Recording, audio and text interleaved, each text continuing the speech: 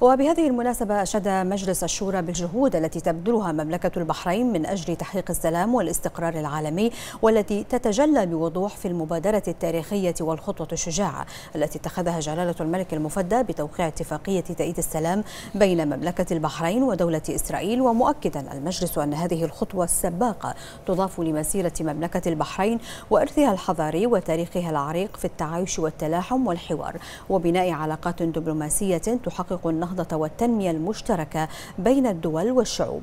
أشار مجلس الشورى إلى أن مملكة البحرين بقيادتها الحكيمة حفظها الله ورعاها وتماسك ووئام شعبها رسخت روح التعايش السلمي والحوار بين المذاهب والأديان والانفتاح على مختلف الثقافات والحضارات وجعلت التعاون الحقيقي بين الدول والشعوب الوسيلة الأكثر فعالية لتحقيق السلام والحفاظ على الحقوق المشروعة والتي جعلت من البحرين مملكة للسلام والأمن والأمان.